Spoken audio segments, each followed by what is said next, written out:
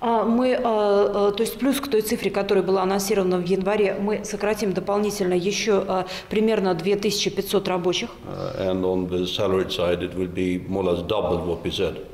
А а, а, по служащим цифра практически удвоится, сокращение. Original was 2,500. А, Первоначально предполагалось а, 2500, Now we are adding another 2,000. э, мы еще 2000 добавили. Такое заявление президент «АвтоВАЗа» сделал, представляя собственную программу оптимизации. В мае «Автогигант» реализовал всего 28 тысяч машин. Для сравнения, в апреле продажи составили 42 тысячи автомобилей. Рынок сокращается, выручка падает. Программа Андерсона предусматривает уменьшение расходов предприятия на 10 миллиардов рублей. Примерно 2 миллиарда придется на фонд заработной платы за счет грядущих увольнений. Лидер независимого профсоюза автозавода «Единство» Павел Золотарев считает, что урезать необходимо в первую очередь расходы топ-менеджеров. Цифры, по его данным, сопоставимы.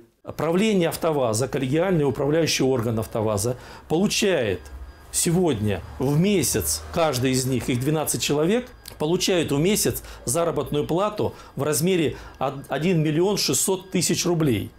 А, ну, если, ребята, критическая ситуация на заводе, давайте поурежемся вместе. Почему должен отвечать рабочий за кризис на автовазе?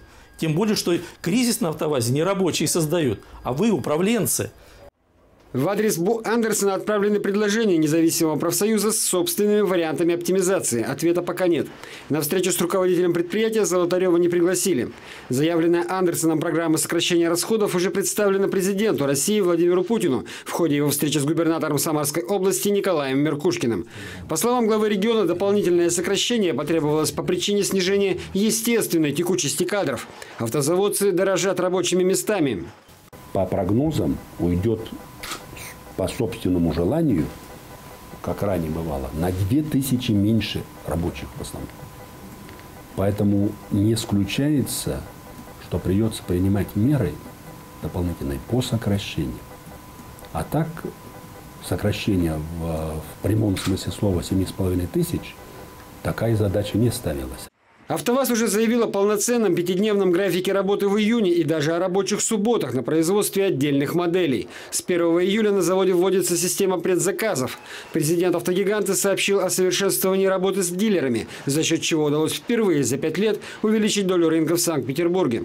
Терра продолжит следить за развитием событий вокруг «АвтоВАЗа».